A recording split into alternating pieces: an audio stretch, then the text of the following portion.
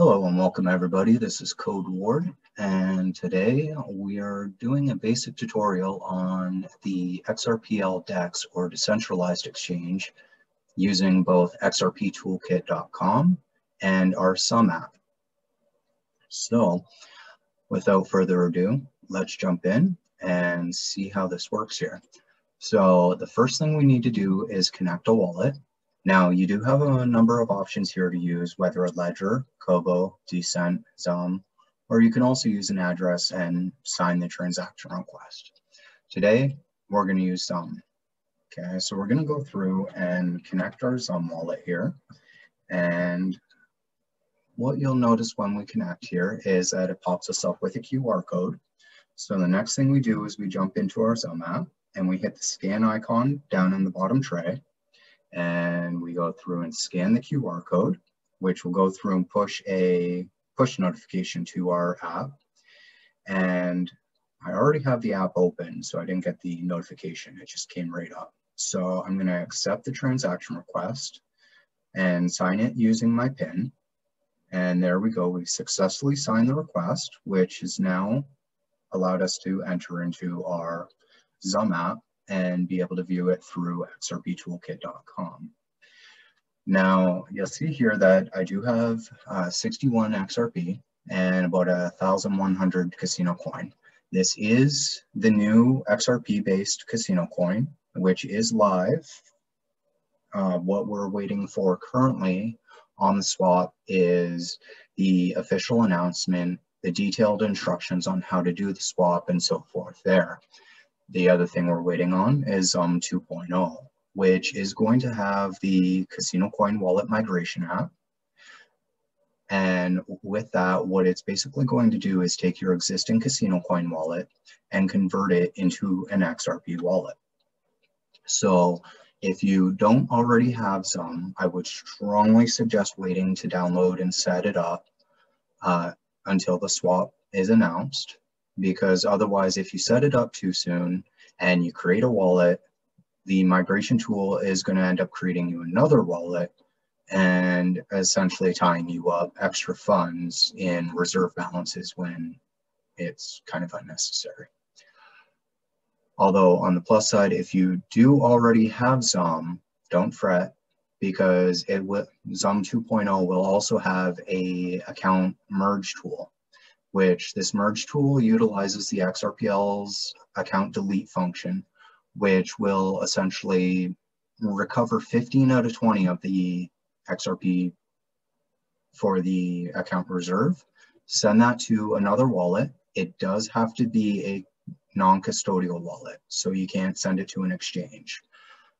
Um, and so with that, once it sends it off, it actually deletes the unwanted wallet for you. So you don't end up tying up and having all these extra wallets lying around. Um, so without further ado, uh, let's jump in here and uh, take care of some trades and go over some brief explanations of how this all works.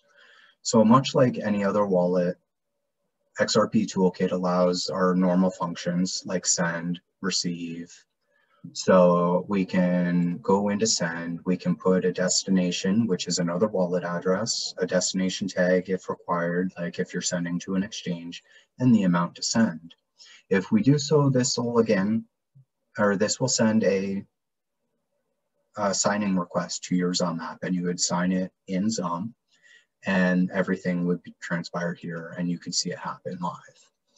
Um, same with receive. So we can receive funds to our wallet here. Okay. And, but this isn't the focus of our tutorial today. What we're looking at today is trade.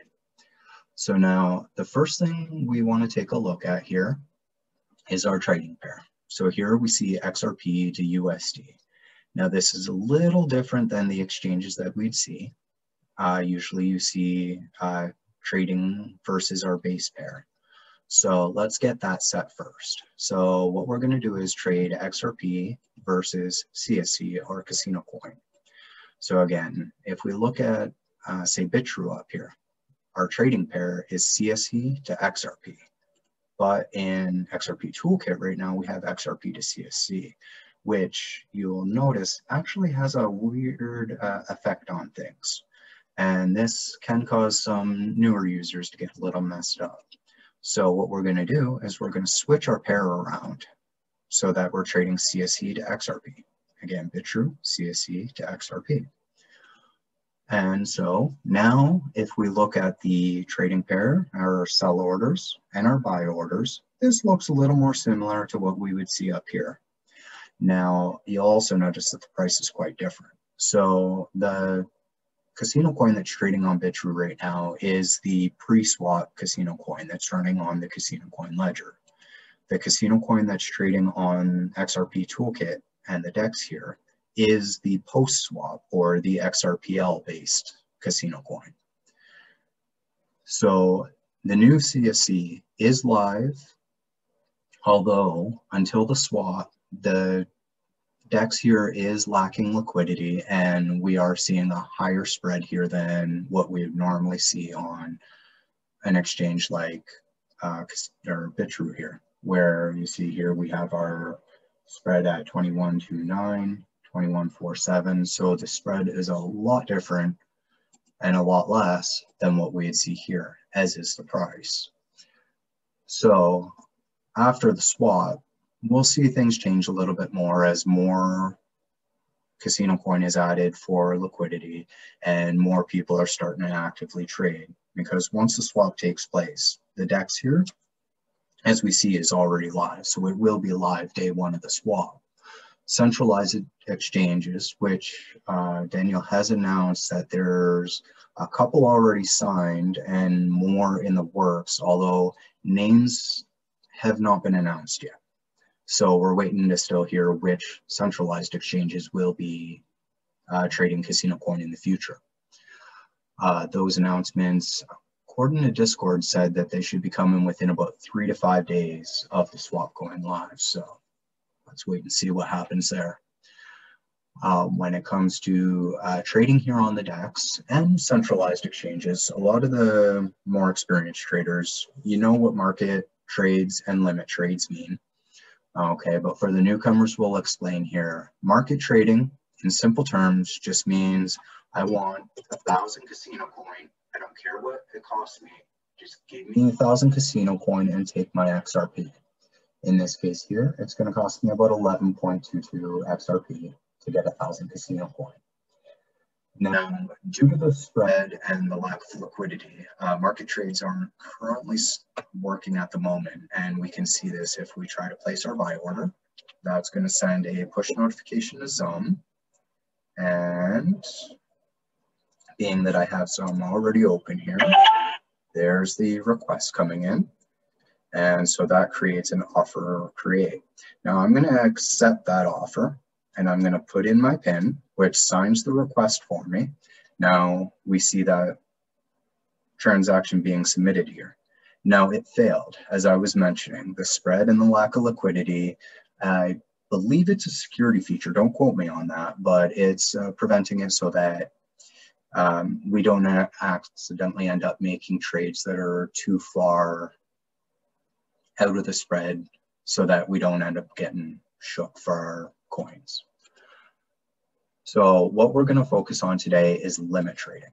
So limit trading is saying, I want a thousand CSC, but I'm not going to pay any more than what it shows or what I designate here. So today we're going to look at the 0.0111 and we'll see that over here. So I'm actually going to reduce that here for this instance, and we're only going to buy 100 casino coin. So take note here, we have 79,900. All right, and now we'll just close off this little notification guy here. And so at this point, we're going to buy 100 casino coin. We're going to put in our offer create. There's the notification coming through to my XUMM. And now I'm reviewing the transaction, which says that basically I'm selling 1.11 XRP for 100 casino coin. In that case, it's 0.0111 times 100 casino coin. So I'm going to accept that. I'm going to put in my PIN, signing that request. And there we go. So we've submitted the transaction. Please wait patiently and stand by. There we go. So our transaction has been succeeded or has succeeded. And as you can see here, we went from 79,800 or 79,900 down to 79,800. And if we look at our account, we went from 1100 a month to 1200 a month. So we'll go back to trade here. And again, we're going to go to limit and conversely.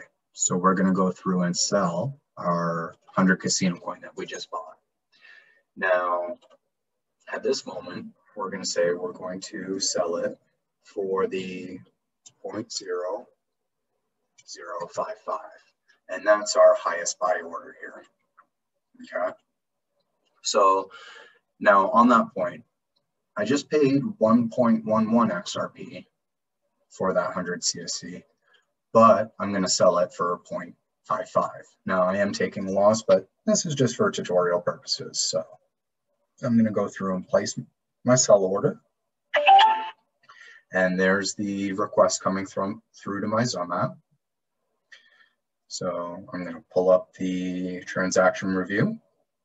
And that says I'm selling 100 CSC and in exchange, I'm going to get 0.55 XRP. So I'm going to accept that transaction. I'm going to put in my PIN, signing the request, and there we go. So the transaction's been submitted. And you'll see here it has succeeded. And that uh, buy order just went down by 100, as did our holdings of CSC. So that there is a basic buy and sell using limit trades. So hopefully this has helped. And if you have any questions, feel free to reach out and you can do so either by joining our Discord via casinocoin.chat or I am on Twitter as at CodeWard1.